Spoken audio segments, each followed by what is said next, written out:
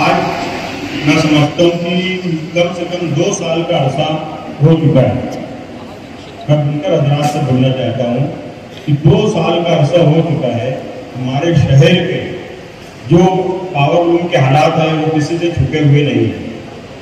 और मैं मेरी लाइफ में पहली मरतबा देखते आ रहा हूँ, मैं उन्नीस सौ अठासी से पावर लूम सनत से जुड़ा हुआ हूँ। मतलब मैं कारोबार में आया मार्केट में आया तो ये जो दो साल गया है, मैं समझता हूँ पिछले तीस सालों में ऐसा दौर कभी नहीं है।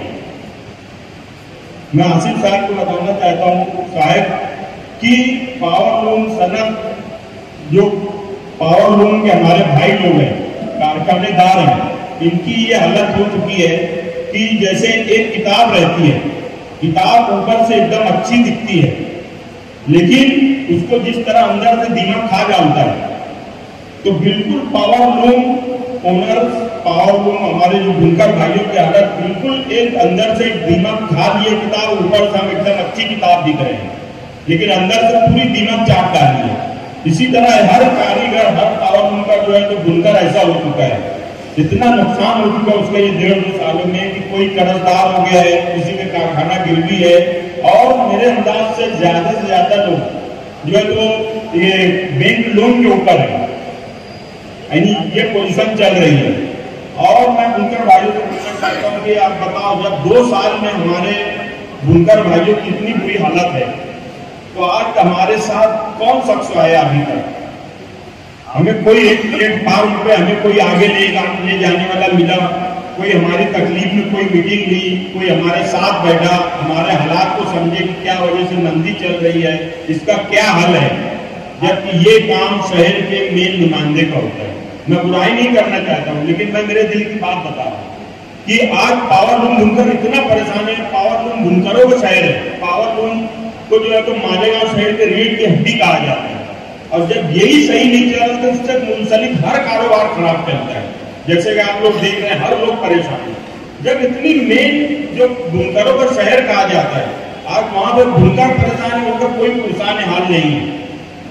तो इसका जिम्मेदार कौन अब मैं इसलिए बोल रहा हूँ कि पीछे पाँच साल पहले जब जब पावर लूम के ऊपर कोई भी तकलीफ़ आई कोई भी प्रॉब्लम आया। हमारे उस वक्त के एमएलए आसिफ शेख साहब थे। उस वक्त उन्होंने हर कोशिश की कि हमें जो है तो पावर लूम मंदिर से कैसा निकाला जाए। मैं ये नहीं कहता हूँ कि लोग के साथ देने से तेज़ी आ जाएगी, लेकिन एक आदमी को तसल्ली मिलती है, एक जज्बा आता है। और जो मंदी के वजुहत रहते वो थोड़ा हटते हैं छटते हैं बाज़ार जो है तो चलती है।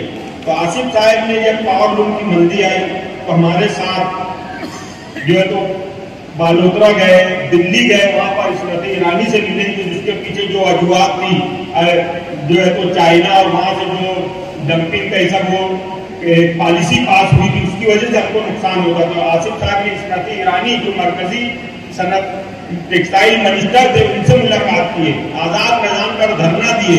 इसी तरह मालेगांव शहर में उन्होंने जगह जगह मीटिंगें ली कि, कैसे क्या ये चीज़ दूर हो, हमारे प्रॉब्लम दूर हो। कहने का मतलब है कि ये सब चीज़ एक सलाहियत, काबिलियत की बात है। अभी जो हम लोग, जो तो मुंबई गए, मुंबई जाने के बाद जो तो मैं, हमारे मुमताज़ सेठ मेरे साथ थे तो उनसे मैंने पूछा बोला, यार, आप यहाँ पर आए, मंत्रालय में तुमको कैसे लगा हमारे आसिफ साहब साहब ने तो तो सोच ही नहीं सकता था कि हम इतने आसानी से हमारी मंत्रालय में एंट्री हो जाएगी। अजीत दादा पवार पास इस तरह बैठ जाएँगे और आसिफ साहब जिस तरह जैसे सवाल चल रहा था, उनके से सिर्फ़ एक लफ्ज निकला है और आसिफ साहब जस्ट उनको वहीं पर रोक के बोले, साहब, हमारे शहर के अंदर साइजिंग का बहुत बड़ा मसला है। और उस मसले पे जब आसिफ साहब, आप लोग वीडियो देखो। जब आसिफ साहब ने जब साइजिंग के मतलब कि हमारे यहाँ के बाइलॉज में कारपोरेशन के साइजिंग वर्ड नहीं है। उसी वक्त आप वीडियो देखना, अजीत दादा पवार ने सेक्रेटरी को बाकायदा बोले और उनको उठा के अपने पास बुलाया और उसकी एंट्री कराई ये वर्ड लिखो और उसको अपने को इसके अंदर डाल के उनको मालेगांव से शहर के साइजिंग वालों के लिए जो जो उसको अपने को परमिशन देना है। ये सब एक सलाहियत की बात है। ये सोच तो चलो आपकी, ये जो करने वाली शख्सियत है, जगह पे फैसला करना रहता है। ये छोटे मोटे हम जैसे हम लोग एक हुए या आसपास के कोई जो सामाजिक खिदमतगार है, ये इनका काम नहीं है। ये काम जो शहर में जो नुमाइंदा रहता है, जो एमएलए की हैसियत रखते हैं, उसका काम है कि जगह में फैसला लेना, जगह में हिम्मत अपनी से काम करना। तो ऐसी बहुत सी बातें हैं साथियों, कि जो है तो हम चाहते हैं कि भाई इस मरतबा जो हम भूलकर लोग परेशान है और अभी तक हमारा ये भी मीटिंग नहीं हुई, कोई कुर्सान हाल नहीं हो कोई हमें इकट्ठा तक नहीं किया। आठ दिन कारखाना बंद किए इस्माइलुल्ला साहब इनके ग्रुप ने पॉलिस्टर के। मैं मीटिंग लिया पीसी की, उसको मैं पाँच दिन के बंद का ऐलान किया। कार्डन वाले अपने तौर पर जो है तो परेशान है, वो अलग मीटिंग ले रहे कोई एक प्लेटफॉर्म को लाने वाला नहीं है जिसे एकदम बेरिया मददगार छोड़ दिया गया है, बुनकरों को। तो हमारा नुमाइंदा किस काम का है? तो मैं इसीलिए कहना चाहता हूँ कि बहुत समझने की ज़रूरत है।